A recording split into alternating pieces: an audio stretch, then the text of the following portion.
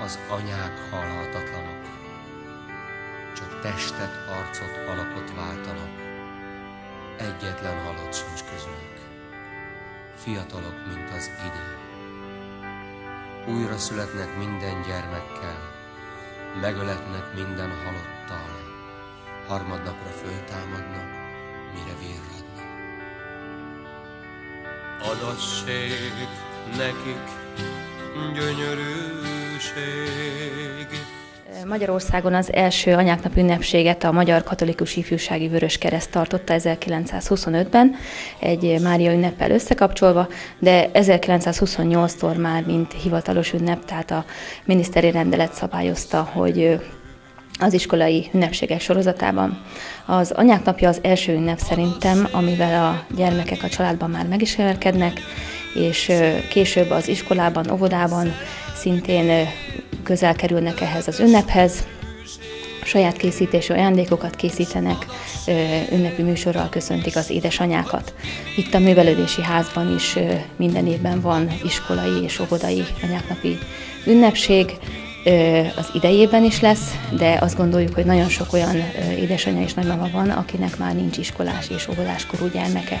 Elsősorban rájuk gondoltunk, de nem csak őket, hanem minden kedves édesanyát, nagymamát szeretettel várjuk a községi anyáknapi ünnepségünkre, melyet május 6-án három óra, délután három órai kezdettel tartunk itt a művelődési házban. Ünnepi műsorral készülünk, ahol az óvodások, iskolások, művészeti iskolások, valamint az újonnan alakult Zákhányszéki Ifjúsági Önkormányzat tagjai fognak közreműködni, és Matusz Kanta polgármester úr köszönti az édesanyákat. Itt a műveledési házban már mi is készülünk erre az ünnepre, gyerekekkel próbáljuk a műsort, készítettünk plakátot, dekoráljuk a színpadot. Azért is fontosnak tartjuk ezt az ünnepet, mert az utóbbi években ilyen jellegű rendezvény nem volt a művelődésházban, tehát a településen sem, és reméljük, hogyha sikeres lesz, akkor hagyományt tudunk belőle teremteni, és szeretettel várjuk az édesanyákat.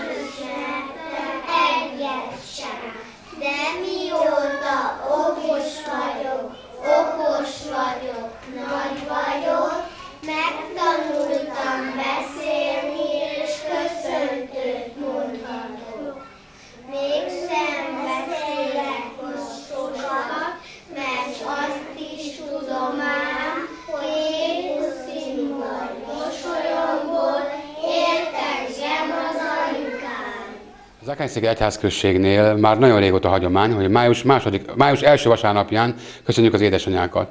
A Szent Mise keretén belül a plébános úr megszenteli a virágokat, és utána pedig az egyházközség tagja, vagy annak valamelyik gyermeke mond egy köszöntőt, és a hiteles gyerekek ö, szintén egy verses összeállítással köszöntik az, a megjelent édesanyákat. És utána az egyházközségnek a jelenlévő férfi tagjai átadják a virágot a mamáknak, nagymamáknak, édesanyáknak, és hát sokszor olyan is kap, akik csak keresztanya.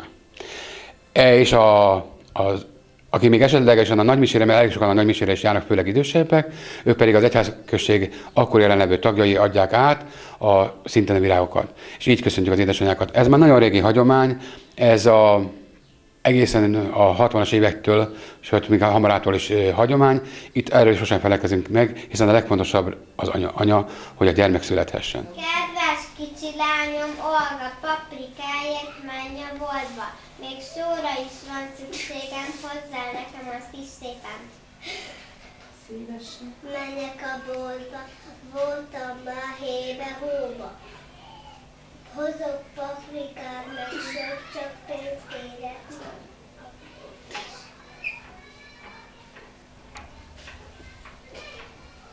Mit parancsol édesányom?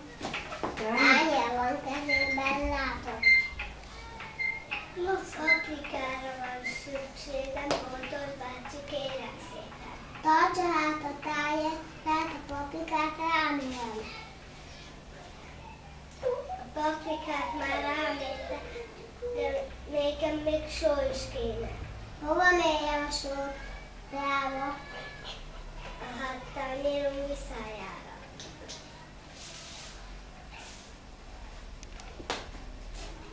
Mi? Itt van az én édes lányom. Teljesült a kívánságom.